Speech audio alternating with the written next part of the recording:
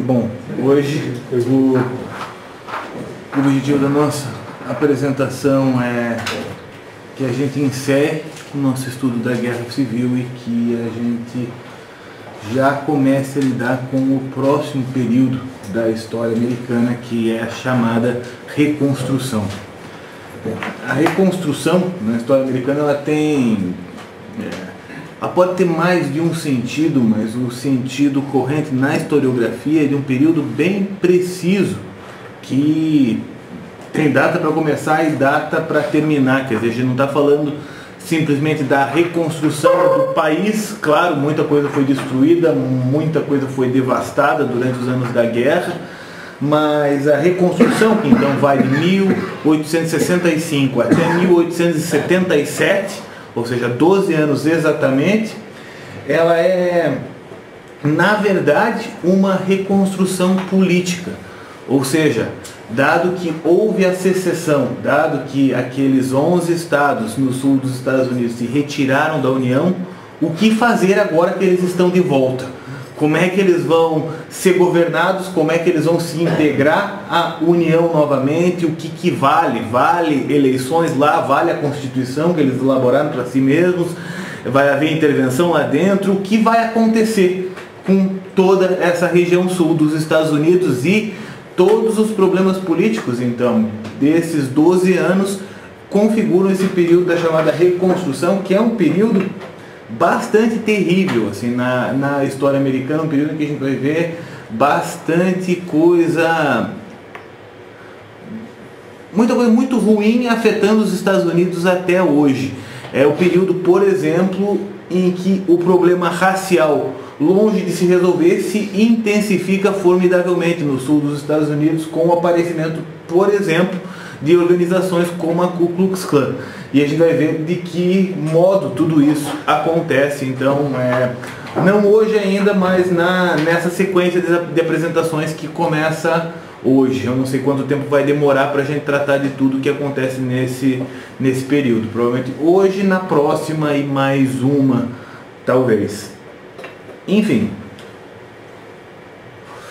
Hoje ainda nos resta falar alguma coisa a respeito do presidente Lincoln. Mas antes de falar dele, vale a pena a gente relembrar é, o estado do, do país no final da guerra, é, até porque a gente vai falar do, do, das consequências da Guerra do Sul, do que aconteceram com aqueles per personagens envolvidos, do que.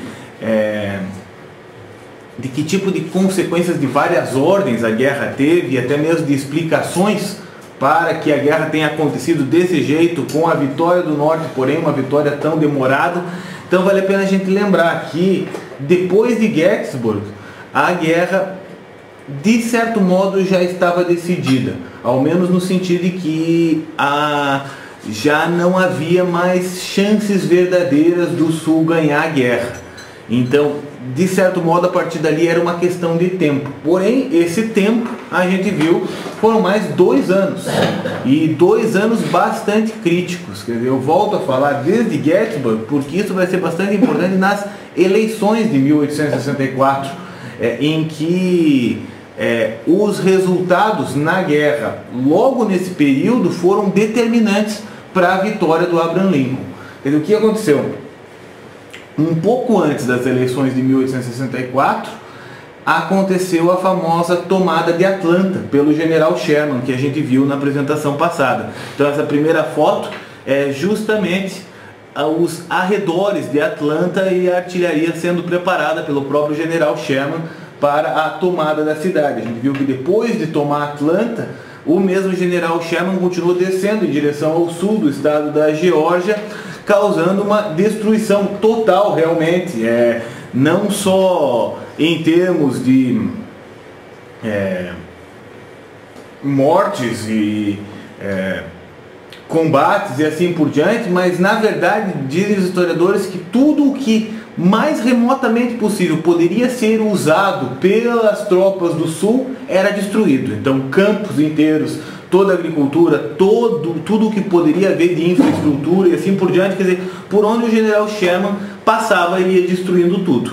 o fato que a tomada de Atlanta e o fato de que então havia nesse momento dois grandes generais em atuação no norte, quer dizer, o general Sherman na Geórgia e o general Grant se encaminhando para a Virgínia para enfrentar o general Lee, então no fronte final da guerra, por assim dizer. Esse foi um grande aumento da moral do norte e foi determinante para as eleições do Lincoln, porque o que acontecia? As eleições de 1864 elas eram uma espécie de referendo, quer dizer, a guerra deve continuar ou não. E muita gente já estava cheia de tudo aquilo, quer dizer, a destruição era muito grande, as mortes eram muito grandes, o dinheiro gasto era muito grande e já tinha um monte de gente achando que o melhor de tudo era deixar o Sul em paz mesmo, quer dizer, a moral estava baixa e essas vitórias e essa supremacia então que o Norte foi conseguindo pouco a pouco foram determinantes para que o Lincoln conseguisse mais um mandato. Aquele mandato ele foi tido então pelo próprio Lincoln como um sinal de que o que a população americana queria, menos a população votante, ou seja, a população dos estados do norte, era que a guerra fosse levada até o fim e que a união fosse mantida a todo custo. Então, nesse desse momento em diante, não dava mais para parar. Porém, O fato é que é, o sul persistia e, sobretudo na Virgínia, o norte ainda tinha é, uma série de vitórias, tinha uma série de. É, causava uma série de problemas para o avanço das tropas do norte, muita gente morria, quer dizer, aqueles campos de batalha cheios de sangue do início da guerra continuaram acontecendo até o último momento. E muitas vezes, mesmo no final de 1864, ainda há depoimentos do próprio Abraham Lincoln quase desesperado, dizer, pensando em desistir, pensando, meu Deus, quanto mais vai durar essa guerra, quanto mais a gente vai ter de aguentar isso, será que isso nunca vai ter fim? A gente tem um será que isso nunca vai ter fim registrado, como fala de Lincoln, em dezembro de 1864, ou seja, muito próximo do fim da guerra. Por outro lado, nessa mesma época, o Sul já estava entrando em colapso, sobretudo depois da tomada da Geórgia. Quer dizer, o Sul foi sendo de fato estrangulado, a Operação Anaconda ela foi levada até o fim, e há relatos de que no Natal de 1864 é, praticamente o sul dos Estados Unidos inteiro já estava passando fome. Quer dizer, toda a possibilidade de manter a infraestrutura dos estados secessionados da confederação já tinha ido por água abaixo. Na verdade, o final, diz o Paul Johnson, para o sul foi um final absolutamente melancólico. Quer dizer, os últimos remanescentes do governo da confederação em Richmond tiveram que sair às pressas, sair corridos. Então dizem que o próprio Jefferson Davis, eh, no início de 1865, deu a sua arma e suas últimas 50 balas de munição para a mulher dele fugir. E quando ele foi preso, logo depois do fim da guerra, ele tinha uma moeda consigo no bolso que ele deu para um mendigo e era só. Já nessa virada do ano de 1864 para 1865, é, quando tudo já estava obviamente perdido, ele ainda tinha os seus ataques e dizia: ah, até o verão as tropas do norte estarão dominadas. Quando isso era obviamente loucura da cabeça dele a esse ponto, a ponto do vice-presidente da confederação chegar nessa virada do ano e jogar o chapéu e dizer: tô fora, voltar para sua casa. Quer dizer, Jefferson Davis acabou ficando verdadeiramente sozinho no fim da guerra e a confederação foi de fato entrando em colapso. Esse colapso então vai culminar com abril de 65, as tropas do general Lee se verem cercadas por todos os lados, e a gente tem as próximas duas fotos, essa e a próxima, então aí nós estamos na no famoso dia deixa eu só confirmar o dia bem certinho, 9 de abril de 1865, quando então o general Grant e o general Lee, ambos vestidos em seus trajes de gala, se reuniram no fórum da cidade de Appomattox para discutirem os termos da da rendição.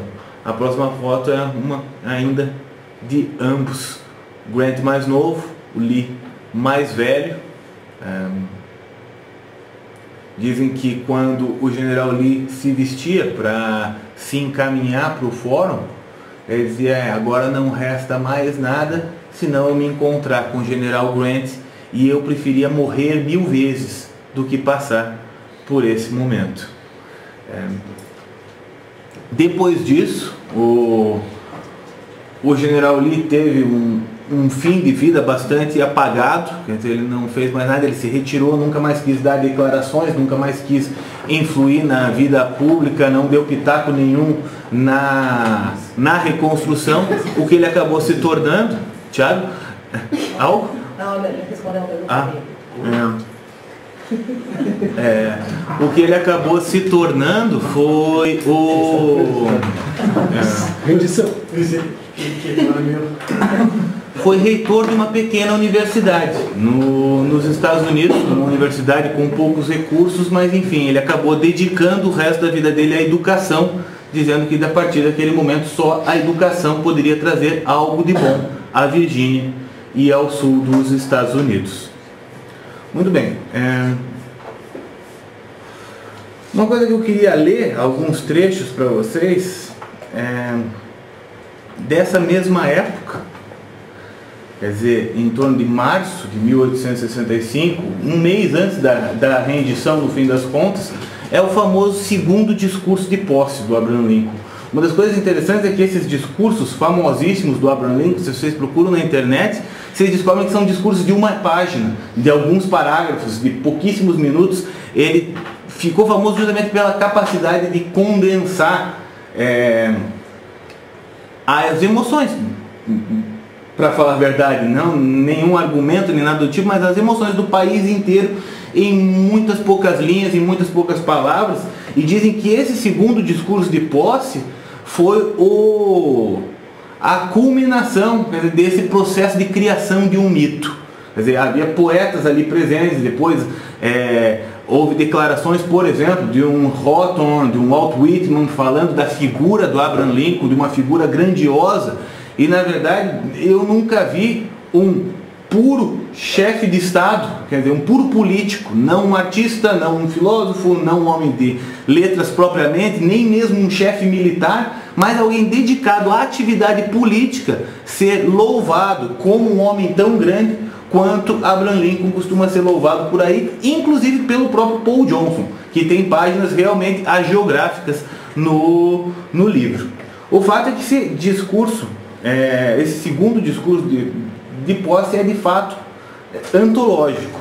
E ele condensava, de algum modo, o, uma série de sentimentos, uma série de dilemas que a gente vem tratando desde o início da, dos nossos estudos da Guerra Civil. Quer dizer, o, o drama do próprio Lincoln, o drama do norte do país, o drama do conflito, o drama de irmãos em conflito. Então, um dos trechos mais famosos, por exemplo, diz: Ambos lemos a mesma Bíblia e rezamos para o mesmo Deus. E cada um de nós invoca esse Deus, ajuda desse Deus contra o outro. Pode parecer estranho que é, qualquer homem ouse pedir a ajuda do bom Deus em é, enfim, atacar e infligir, infligir dano aos seus irmãos. É, mas não vamos julgar para não sermos julgados. As orações, as preces de ambos não poderiam ter sido respondidas, pois nenhuma das orações, nem as nossas, nem as deles, foi respondida inteiramente até agora. O Altíssimo tem os seus próprios propósitos. Ai do mundo por causa do escândalo porque é preciso que o escândalo venha, mas ai do homem por quem o escândalo vem.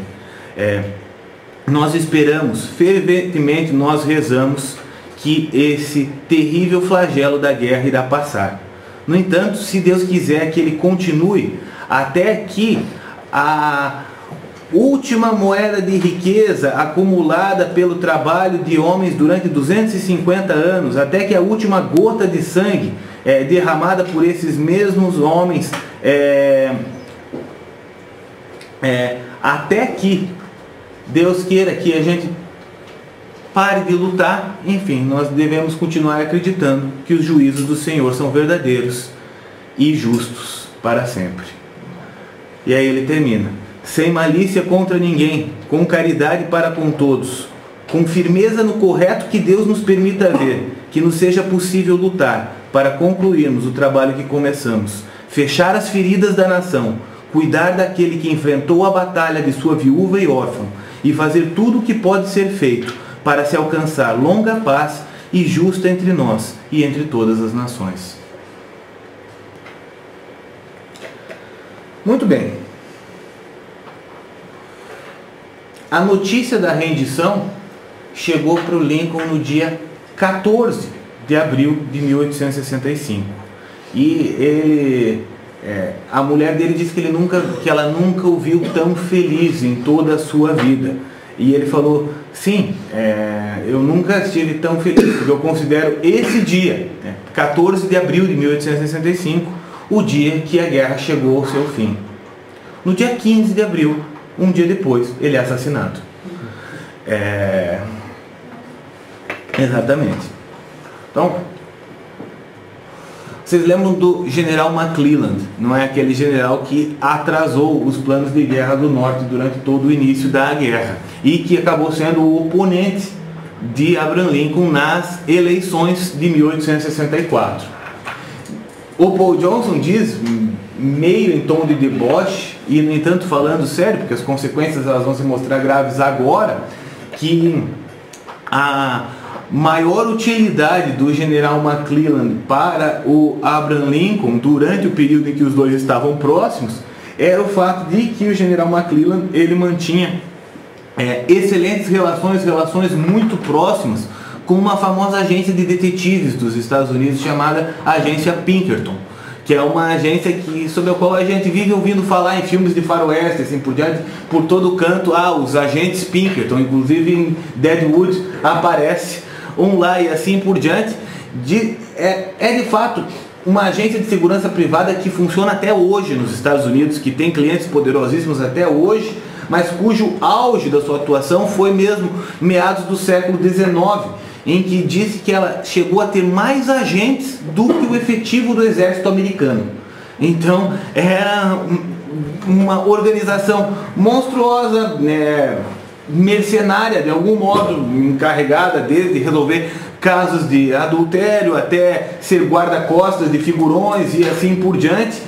E bom, durante o início da guerra, por conta dos contatos do general McClellan, eram eles que faziam a segurança pessoal do Abraham Lincoln, tendo inclusive desbaratado uma tentativa de atentado já em 1860, antes mesmo de Lincoln tomar posse no governo americano. Porém, saído o general McClellan do governo, saiu também a agência Pinkerton e diz o Paul Johnson que provavelmente se eles estivessem cuidando do Abraham Lincoln nesse momento, o atentado que acabou dando fim à sua vida provavelmente não teria chegado a, a bom termo, porque dizem que era uma noite particularmente perigosa para o Abraham Lincoln de sair de casa, a segurança foi falha em todos os sentidos, era uma conspiração é, foi uma, uma conspiração provada que, que planejou o seu assassinato, sendo que o é, atirador era um sujeito meio maluco mesmo, quer dizer, é, um sujeito com problemas mentais comprovados, então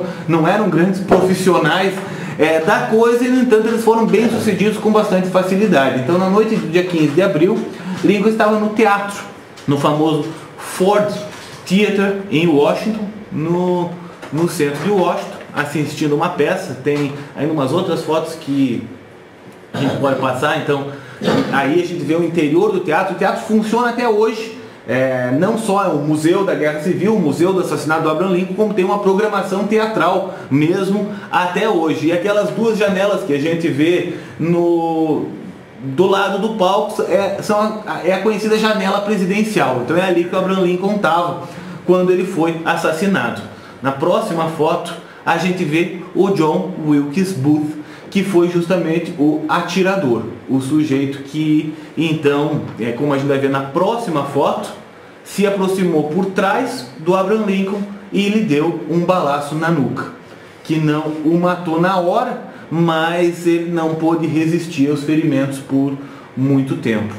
É, na próxima foto ainda, é uma outra visão então do John Wilkes Booth chegando por trás, o Lincoln do lado da sua mulher, na janelinha presidencial. Ele conseguiu atirar, conseguiu fugir do teatro e na verdade ele só foi pego pelo Exército da União alguns dias depois, se não me engano foi no dia 26 de abril, que então ele foi é, cercado pelo Exército, não quis se render, tomou tiro, morreu. Depois disso, os outros membros da conspiração é, foram todos pegos, foram todos julgados. Há um filme bem recente chamado A Conspiradora que dá conta da, da história da única mulher que estaria entre os conspiradores, porém nunca foi provado verdadeiramente que ela era culpada. Ela chegou a ser enforcada, mas a tese de muitos historiadores é que ela foi presa e foi julgada porque o irmão dela sim era culpado de participar da conspiração, porém o irmão dela fugiu para o Canadá. Então prendê-la foi uma forma de tentar atrair o irmão dela de volta. Não se atraiu o irmão dela, ela foi enforcada e é, na verdade, a primeira mulher da história dos Estados Unidos condenada à pena de morte, pelo que quer que, que seja. Então, na próxima foto, a gente vê justamente o enforcamento dos acusados na, na conspiração. Muito bem. Logo em seguida, é, o Jefferson Davis foi preso. Ele passou dois anos na, na prisão, 720 dias. Ele acabou sendo libertado sem julgamento, embora ele quisesse ser julgado e ele tenha tentado defender a inocência dele o tempo todo. Quer dizer, então ele foi preso, acusado sobretudo de traição. E o objetivo dele era provar no tribunal, na Suprema Corte Americana, como de fato depois acabou sendo decidido, que eles tinham o direito legal à secessão e que, portanto, ele não foi um traidor da pátria de modo algum. É, ele, enfim, é a, figura mais odiada no, no norte do, dos Estados Unidos. É, mesmo lá no sul, então, quando o exército do norte tomou aquilo, eles deram um jeito de atacá-lo pessoalmente, de todas as formas é, possíveis. Então libertaram os escravos da fazenda dele, que por sua vez então invadiram sua casa, tomaram seu vinho, quebraram tudo que ele tinha. É, mesmo vocês lembram que ele era muito amigo dos seus escravos, em tese, porém mesmo escravos amigos dele, então é, o traíram, destruíram suas coisas, foram embora, só alguns escravos mais fiéis permaneceram lá. Dizem que ele foi bastante humilhado durante o período que ele ficou preso. É, depois que ele foi solto, ele ainda passou uns anos no Canadá para depois apenas voltar para os Estados Unidos. Ele acabou morrendo só já no final do século, então ele ainda viveu bastante tempo, um fim bastante melancólico. Tem aí duas fotos. É, essa é a arma que matou Lincoln, que está lá no Fort Theater até hoje. E as próximas duas fotos, então, para a gente ler. Ah, e essa é a última foto formal tirada do Abraham Lincoln. Essa foto foi tirada em março de 1865, então logo antes dele morrer. E aí, assim, a próxima foto é para a gente lembrar a cara do Jefferson Davis, então na época da Confederação, e por fim, ele já em 1865, bem velhinho, na na casa dele, já de volta nos Estados Unidos. 95. 85. É...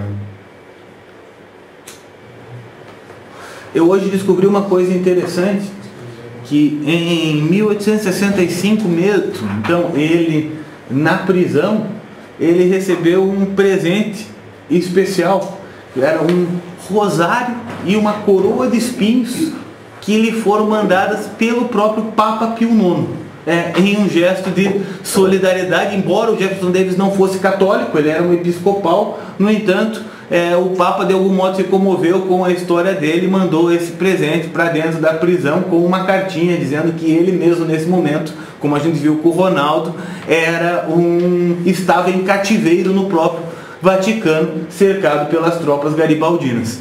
Então, é, esse detalhezinho. Como a gente vai ver, né, sobretudo mais para adiante, o maior resultado da, do assassinato do Abraham Lincoln foi que a situação, situação no sul ficou muito pior do que ficaria se ele continuasse vivo.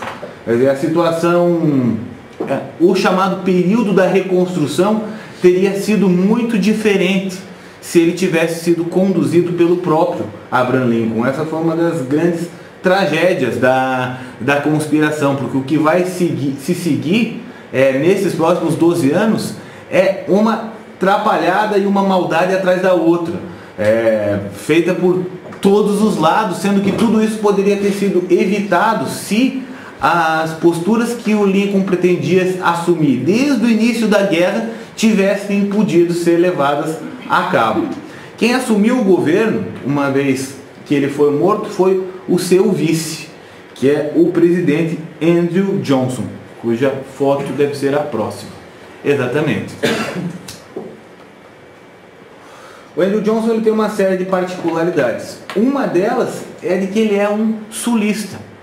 Ele é um sulista, porém um sulista fiel à União, a ponto de depois da secessão, ele é do Tennessee, é, ele ter sido o único senador dos 11 estados que se retiraram da União que se recusou a deixar a União e continuou atuando no parlamento americano durante todo o período da guerra. É, e é, fiel ao Lincoln, então acabou sendo, né, enfim, escolhido para compor a chapa com ele é, foi eleito vice-presidente, uma vez morto o Lincoln, ele assumiu. Porém, por um lado, ele era um homem bem intencionado, ele queria levar à, à frente as ideias então do seu antecessor, ele queria conduzir esse período da reconstrução tal como Lincoln tinha planejado que ele é, fosse conduzido, só que Lincoln era um herói nacional. E ele era um sujeito que, por mais fiel que ele tenha sido à União durante todo o período da guerra, era um sujeito não muito bem quisto, um sujeito meio sem partido, um sujeito sem apoio nenhum e visto com desconfiança por todo mundo, já que ele era um sulista. Quer dizer, a fidelidade à União dele foi esquecida muito rapidamente e ele passou a enfrentar uma oposição tremenda no Congresso americano, uma oposição que o próprio Abraham Lincoln não enfrentaria de jeito nenhum. Então qual era o problema? O problema é que haviam três facções nesse momento. Facções a respeito de o que fazer com os estados do sul. Então, o que o Abraham Lincoln defendia e o que o Andrew, Andrew Johnson queria então dar continuidade era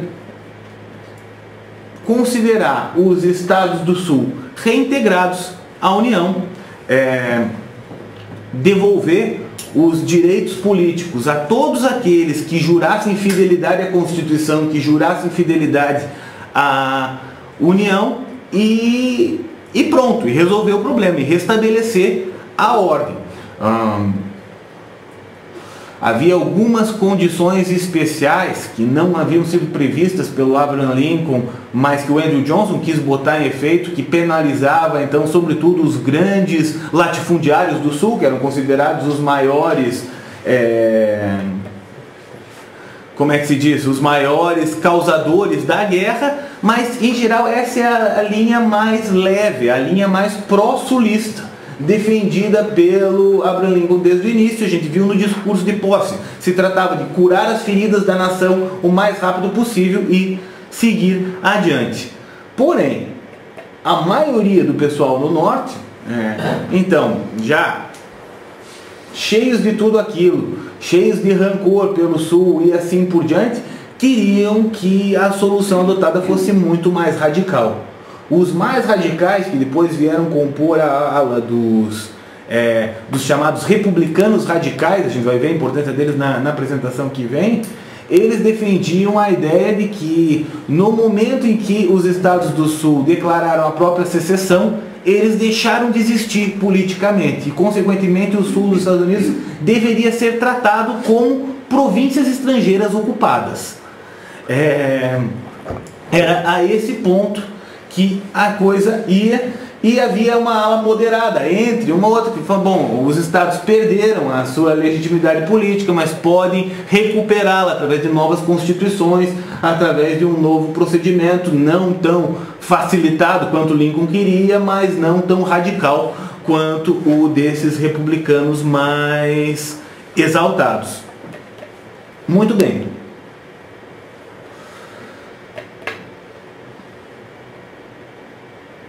De algum modo, é,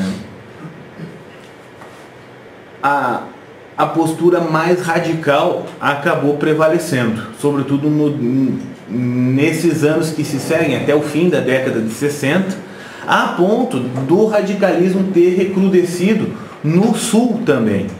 E aí que começa a, a certas perguntas se tornarem interessantes. Então, é, as mesmas análises que dão conta de por que o Norte ganhou a guerra, falam também de é, o que Lincoln tinha em mente para a guerra e para depois, e explicam outro fato curioso na história americana, que é o fato de o Sul, tendo sido tão humilhado, sobretudo nesse período da reconstrução, jamais ter tentado de novo é, se separar da União. Quer dizer, é, e e esses fatos juntos, eles contribuem, dizem os historiadores, sobretudo os mais recentes, para ressaltar o gênio militar e o gênio político, sobretudo, mas também militar. Esse que é o ponto é, curioso e mais recente das investigações do próprio Abraham Lincoln. Por quê? Até pouco tempo atrás, é, acreditava-se que a guerra ela tinha sido definida, em primeiro lugar, pela superior, pela, por aquela superioridade dos Estados do Norte que a gente viu na primeira apresentação da guerra, da guerra civil, sobre todos os aspectos, superioridade numérica, superioridade de riqueza, superioridade de armamentos e assim por diante, de comida, até mesmo de infraestrutura e assim por diante, e em segundo lugar, pela superioridade moral por assim dizer, do norte, já que o norte estava lutando pela liberdade, pelo fim da, da escravidão e assim por diante, enquanto o sul estaria lutando por interesses econômicos. Em contrapartida, defendia-se que a guerra demorou tanto, pura e simplesmente por conta da bravura dos soldados do sul que estavam lutando pelas suas vidas, pelo gênio militar de um general Lee e assim por diante. A coisa se torna mais complexa quando a gente vê que a guerra civil americana, sobretudo desde o ponto de vista do norte, ela não no meio popular, por assim dizer, nos consumidores de livro de história, no caso nós, que então recebemos essa história já é, escrita de um certo modo, quer por um lado, quer por outro, mas sobretudo nos meios militares americanos, ela já vem sendo estudada desde o fim do século XIX como um dos grandes modelos de sucesso militar de todos os tempos, como uma aula é, de estratégia militar. Então eu encontrei um historiador que em 1890 escreveu um manual de estratégia militar que passou a ser estudado na Academia Militar Americana desde então, tomando por modelo é, em todos os níveis a estratégia desenvolvida por Lincoln e por Grant. O nome do sujeito é Bigelow, é o Tenente Bigelow, que pu publicou o um livro chamado Os Princípios da Estratégia, ilustrado sobretudo pelas campanhas americanas na Guerra Civil. O que ele vai dizer o seguinte: ele vai dizer que a estratégia é, tomada em sentido amplo, ela pode ser dividida em três vertentes. Uma é a Estratégia tática ou a tática, que consiste em você saber o que fazer quando o inimigo está na sua frente. É, a tática, num campo de batalha, tudo aquilo que a gente viu é, ser a marca de um general Lee, por exemplo, e de um general Grant e assim por diante. O outro tipo de estratégia, que é a estratégia propriamente dita, é a estratégia de saber o que fazer quando o inimigo não está na sua frente. Quer dizer, é você é, olhar para o grande esquema das coisas. E o terceiro tipo de estratégia é o que ele chamou de estratégia política da guerra. E isso é bastante importante, porque a estratégia política consiste em usar todos os meios possíveis para fazer com que o inimigo deixe de querer lutar, para fazer com que, sobretudo, a população inimiga é, deixe de ter vontade de fazer a guerra. Então, essa estratégia política, por exemplo, mais tarde, ela vai ser usada contra os próprios americanos sem precisar que ela integre o campo de batalha. Quer dizer, quando a gente vê no Vietnã que os Estados Unidos podiam ganhar uma batalha, porém a mera desinformação, o mero uso da propaganda cumpriu esse papel de estratégia política para fazer o povo americano querer desistir da guerra, a gente vê a importância disso que o Tenente Bigelow já havia é, no, em 1890. Porém, na Guerra Civil não se tratava de usar a propaganda e a desinformação, mas se tratava de uma certa atitude no campo de batalha, que foi o que, por exemplo, fez o general Sherman, devastando a Geórgia.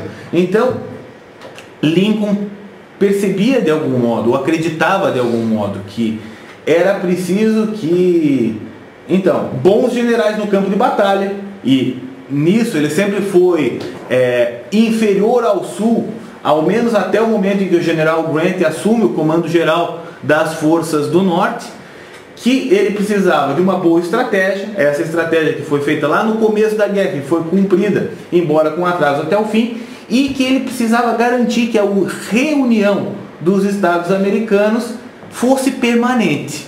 Quer dizer, que os Estados Unidos, que os Estados do Sul não quisessem nunca mais secessionar. Então era preciso roubar-lhes todo o ânimo no campo de batalha e ao mesmo tempo, uma vez acabada a guerra, é, ser o mais generoso possível. As duas coisas estavam previstas por ele. E na verdade só uma delas foi feita porque ele não viveu o suficiente para é, botar em ação o seu plano de, de reconstrução. A reconstrução, no fim das contas, ela vai acabar sendo dividida em duas fases nos Estados Unidos. E a chamada reconstrução presidencial, ela só dura até 1866, que foi a tentativa do Andrew Johnson de botar em operação o plano do Abraham Lincoln. De 1866 até 1877, bom, em 66 há eleições para o Congresso americano. E aí, nessas eleições, o Andrew Johnson perde, perde completamente o controle do Congresso americano a ponto de, em 1867, ele sofrer um impeachment na Câmara dos Deputados. Na verdade, há dois impeachments de presidentes na história americana. Pelo menos uns 10 impeachments de juízes, de outros tipos de cargo. Mas os dois presidentes é, que sofreram um impeachment no Congresso foi o Andrew Johnson em 1867 e o Bill Clinton, como vocês se lembram. Ambos, porém, um dia depois foram absolvidos pelo Senado. Então, na verdade, o Senado salvou o Bill Clinton agora nos anos 90, como já havia salvado o Andrew Johnson em 1867. No caso do Andrew Johnson, bom, era preciso que dois terços do Senado votasse a favor do impeachment. Faltou um senador é, para ele não ser impedido de, de, governar. Então foi por muito pouco. É, o fato é que a tentativa de impeachment, se não gerou nenhuma consequência política imediata, acabou gerando outras duas, de mais longo prazo. Quer dizer, em primeiro lugar, o Andrew Johnson já não tinha o menor poder para governar. Quer dizer, os republicanos radicais eles tomaram os Estados Unidos para si nesse momento. E, porém, em segundo lugar, o próprio Congresso saiu extremamente desmoralizado, porque foi uma espécie de farsa. Quer dizer, é, o Congresso em 1866, então, uma vez assumido, é, proclamou rapidamente uma série de leis inconstitucionais, claramente inconstitucionais, porque mexiam em prerrogativas do executivo. Então, entre essas leis, por exemplo, é, constava uma proibição do presidente demitir os seus próprios ministros sem autorização do Congresso. O Andrew Johnson, vendo que a lei era claramente inconstitucional, não quis nem saber e demitiu o seu ministro da guerra. E foi por causa dessa demissão que ele sofreu o processo de impeachment. Então foi uma palhaçada bem grande, é, uma, uma vergonha jurídica e só uma primeira de uma sequência de vergonhas que vão se seguir por, por aí. Mas essa história que fica para semana que vem. Então, para hoje, o que, o que importante era isso. Dizer, consequências é, da guerra, é, o fim melancólico do Sul, o, a guerra tal como é, vivenciada pelo Abraham Lincoln, essa exaltação dele, porque o que acontece é o seguinte, a, a, muitos dos relatos a respeito da estratégia do Norte são baseados nos diários do general Grant. E é uma passagem bastante famosa no diário do general Grant, que dá conta da amizade dele com Abraham Lincoln e da confiança mútua entre ambos, em que ele diz, ah, eu me encontrei com o presidente Lincoln hoje e ele nem quis saber qual era a minha estratégia, ele só me mandou ir lá vencer a guerra. Como se o Abraham Lincoln tivesse dado toda a liberdade para ele e não entendesse nada de guerra. E o que os historiadores mais recentes tentam ressaltar é que não foi bem assim que ele puxou um pouco a sardinha para o seu lado e o papel de Lincoln como o grande estrategista do norte foi determinante desde o do início. Só para, então, terminar. O presidente posterior ao Johnson é o Grant? O presidente posterior ao Johnson é o Grant. Tá. Que vai ser amigo do Dom Pedro II. Dom Pedro II vai para os Estados Unidos a convite dele. Olha. É, só para terminar, é, o, aquele historiador da, da literatura, o Edmund Wilson, ele fez um estudo né, para. É, enfim, ele quis pesquisar o, a influência da guerra nas letras americanas, que tipo de marcas ela tinha deixado na mentalidade americana. E uma das coisas que o surpreendeu muitíssimo é que quase não há marcas alguma nos escritores do norte. É como se a guerra tivesse passado despercebida para muitos dos artistas na Nova Inglaterra. Então, ele vai citar, por exemplo, ah, o, o jovem Henry James, é, que estava começando sua carreira, não quis saber da guerra, inventou um, um ferimento para si mesmo, não serviu, nunca falou no assunto. Mark Twain estava atuando nessa época, porém também não quis saber da guerra, foi para o oeste dos Estados Unidos documentar a vida no Velho Oeste e não falou da guerra. A maior poeta desse período, e aí eu já estou dando uma lista para vocês. É, Hã? É. Emily Dixon, exatamente, era uma reclusa, que sequer publicou seus poemas em vida, que passou a sua vida tranquila no seu canto, escrevendo para si mesmo, fazendo da poesia uma espécie de autoexpressão, e dos seus quase dois mil poemas, não há um que trate da guerra, e assim por, por diante. Uma das exceções, ele vai dizer, é o Walt Whitman. Porém, ele é uma exceção porque ele se envolveu diretamente com a guerra, sobretudo com o trabalho nos hospitais. Na verdade, é, é, é famoso, é, é, são famosos os hospitais da guerra civil e há quem diga que na verdade eles são mais sangrentos do que qualquer campo de batalha que a guerra já, já teve. Então, vocês lembram que a batalha de Gettysburg durou três dias? Porém, dizem que na outra, uma semana depois desses três dias, os cirurgiões passaram dia e noite cortando membros das pessoas sem parar, cortando braços e cortando pernas.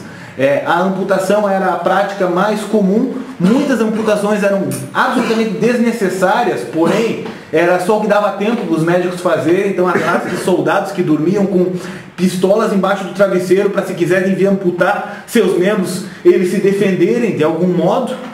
E o Walt Whitman ele foi um dos grandes é, defensores desses soldados, no sentido que ele salvou muitos membros. Ele percorria os hospitais tratando os feridos de um modo mais humano, de um modo mais correto. É, ele era considerado o terror de muito, por muitos cirurgiões, por muitos enfermeiros, porque ele ia lá criar problemas, mas o fato é que para os feridos que estavam lá querendo algum tipo de assistência melhor do que simplesmente um serrote, ele foi a salvação para muita gente. E ele termina dizendo assim: é, os anos futuros nunca conhecerão o inferno e o background negro e infernal das incontáveis cenas pequenas e interiores da guerra civil. E é melhor que eles não conheçam, que eles não saibam o que aconteceu aí. A verdadeira guerra nunca chegará nos livros. É. Esse é testemunho final, então, da guerra civil, para que a gente trate de outros temas a partir da semana que vem. Gibi, é, você chegou a assistir os filmes do Ronaldo Civil? Hum, Não todos ainda. Comecei. O, eu queria te fazer duas perguntas. Uhum.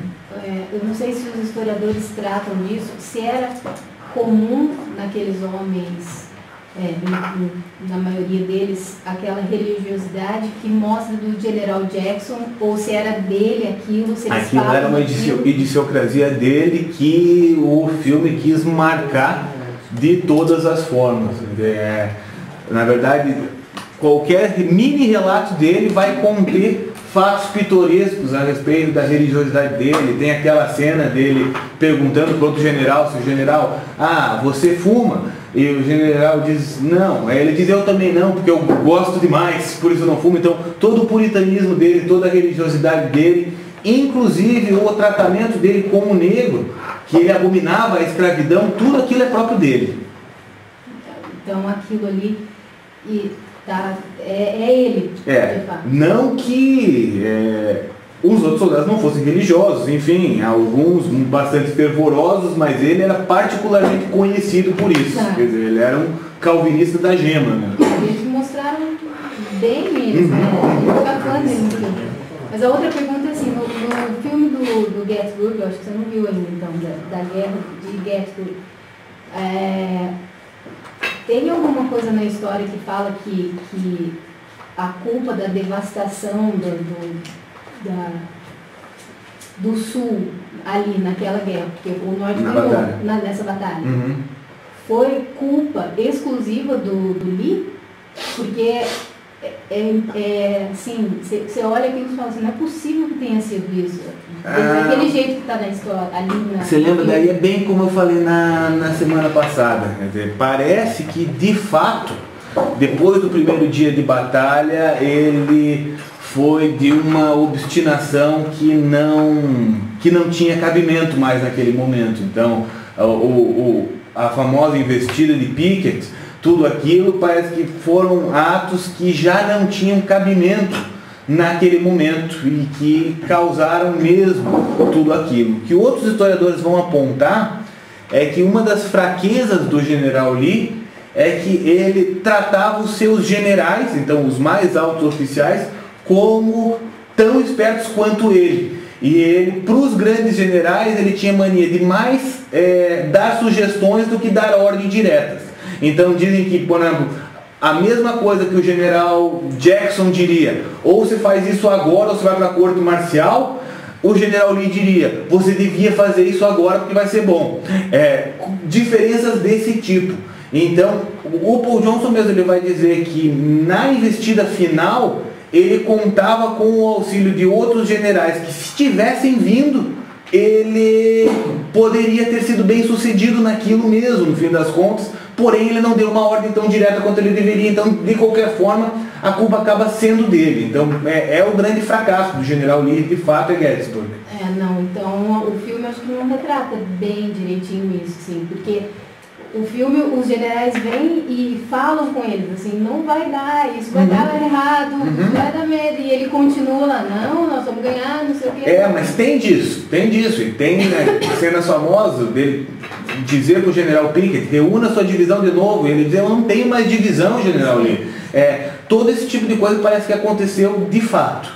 Que era.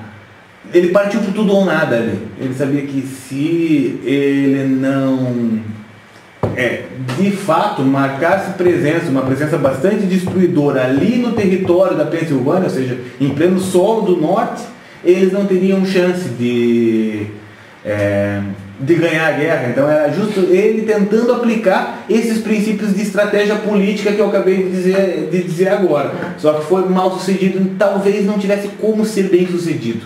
Talvez o que ele pudesse apenas era ter evitado um morticínio tão grande. Mas ganhar a batalha talvez fosse impossível. Então, Porque o, norte estava numa, numa posição melhor, né? Uhum.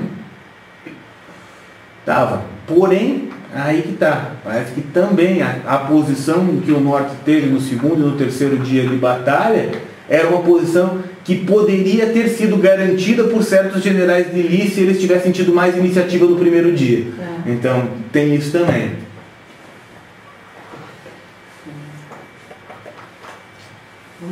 Vamos lá?